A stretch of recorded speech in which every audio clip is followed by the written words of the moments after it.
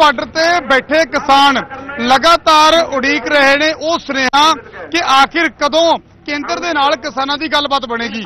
ਕਦੋਂ ਕੇਂਦਰ ਸਾਰੇ ਮਸਲਿਆਂ ਤੇ ਹਾਮੀ ਭਰ ਦੇਗਾ ਤੇ ਕਿਸਾਨ ਇੱਥੋਂ ਸੁੱਖੀ ਸਾਂਦੀ ਖੁਸ਼ੀ-ਖੁਸ਼ੀ ਆਪਣੇ ਘਰਾਂ ਨੂੰ ਜਾਣਗੇ? ਤਸਵੀਰ ਤੁਹਾਨੂੰ ਇੱਕ ਵਾਰੀ ਦਿਖਾ ਦਿੰਦੇ ਆ ਪਿੱਛੇ ਦੂਰ ਤੱਕ ਤੁਹਾਡੀ ਨਜ਼ਰ ਜਿੱਤ ਤੱਕ ਜਾਏਗੀ। ਤੁਹਾਨੂੰ ਉਸੇ ਤਰ੍ਹਾਂ ਟਰੈਕਟਰ ਟਰਾਲੀਆਂ ਜਿਹੜੀਆਂ ਪਹਿਲੇ ਦਿਨ ਆ ਕੇ ਇੱਥੇ ਖੜ ਗਈਆਂ ਸੀ, ਸੱਤਵਾਂ ਦਿਨ ਅੱਜ ਹੋ ਗਿਆ। ਹਾਲਾਂਕਿ ਲਗਾਤਾਰ ਕਾਰਵਾਂ ਜਿਹੜਾ, ਕਾਫਲਾ ਜਿਹੜਾ ਲੰਬਾ ਹੁੰਦਾ ਜਾ ਰਿਹਾ। ਇਹ ਤਸਵੀਰ ਤੁਹਾਡੇ ਸਾਹਮਣੇ ਭੀੜ ਵੱਧਦੀ ਜਾ ਰਹੀ ਆ। ਦੂਜਾ ਪਾਸਾ ਬਾਰਡਰ ਵਾਲਾ ਪਾਸਾ।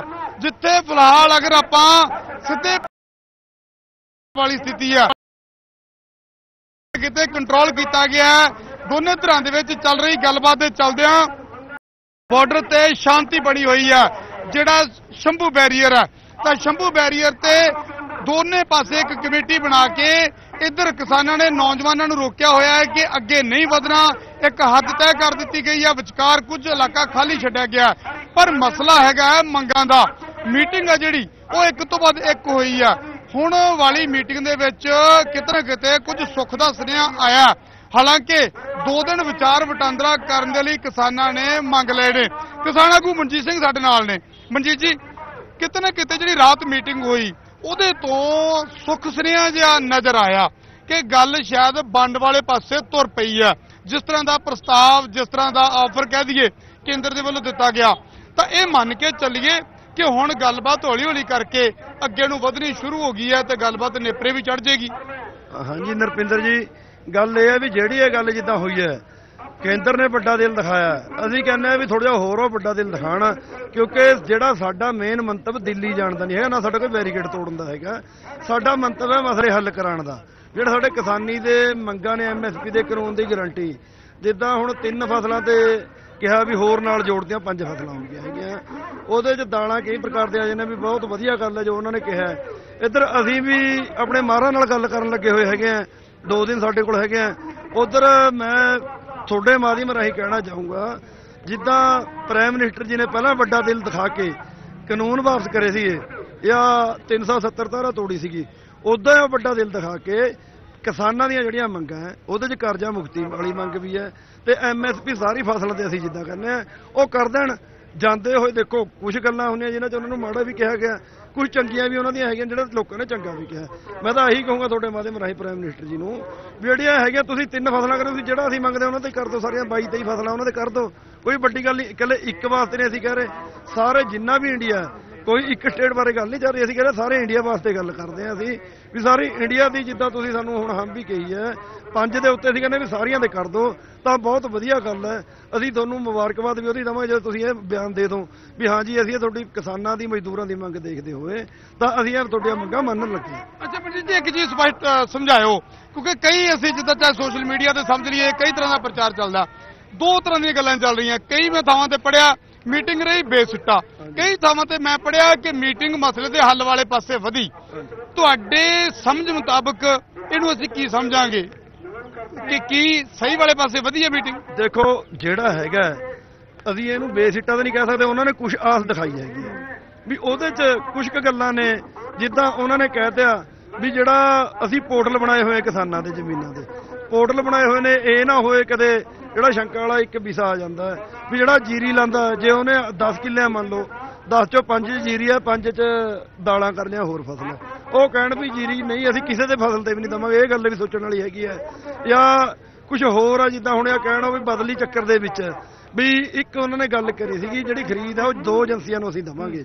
ਜਿਹੜੀ ਦੋ ਏਜੰਸੀਆਂ ਨੇ ਪ੍ਰਾਈਵੇਟ ਏਜੰਸੀਆਂ ਦਾ ਸਾਨੂੰ ਲੱਗ ਰਿਹਾ ਜਿੱਥੇ ਸਾਡਾ ਆਪ ਗੱਲ ਹੋਈ ਹੈਗੀ ਹੈ ਉੱਥੇ ਜੱਜਮੈਂਟ ਉਹਨਾਂ ਦੀ ਗੱਲਾਂ ਤੋਂ ਲੱਗ ਰਹੀ ਸੀਗੀ। ਅੱਛਾ ਤੁਸੀਂ ਮਾਰਾਂ ਦੇ ਨਾਲ ਗੱਲਬਾਤ ਕਰਨੀ ਸ਼ੁਰੂ ਕਰ ਦਿੱਤੀ ਅੱਜ ਮੀਟਿੰਗ ਇਸ ਮਸਲੇ ਤੇ ਵੀ ਹੋਵੇਗੀ। ਤਾਂ ਕਦੋਂ ਤੱਕ ਆਸ ਰੱਖੀ ਰੱਖਣ ਆਮ ਕਿਸਾਨ ਕਿ ਹੁਣ ਅਗਲੀ ਮੀਟਿੰਗ ਹੈ ਜਿਹੜੀ ਹੋਏਗੀ ਤਾਂ ਉਹ ਮੀਟਿੰਗ ਕਵਾਂਗੇ ਕਿ ਸਾਰਥਕ ਹੋ ਨਿਬੜੇ? ਦੇਖੋ ਸਾਡਾ ਅੱਜ ਦੇ ਕੱਲ ਦਾ ਦਿਨ ਹੈ।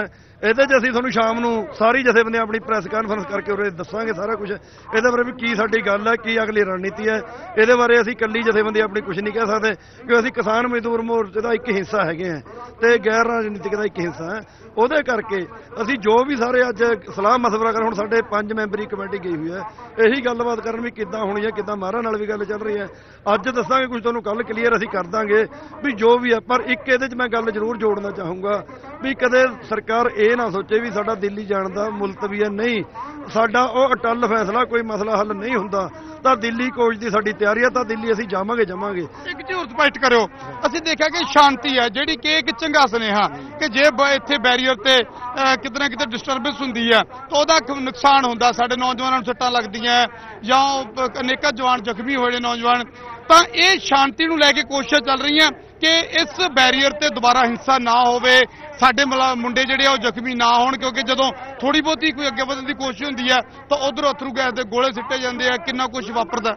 ਦੇਖੋ, ਇਹਦੇ ਸਾਡੇ ਮੁੰਡੇ ਬਹੁਤ ਜਥੇਬੰਦੀਆਂ ਦੇ ਕਹਿਣ 'ਚ ਚੱਲ ਰਿਹਾ ਗੱਲ ਇੱਕ ਸੁਨੇਹਾ ਹੈ।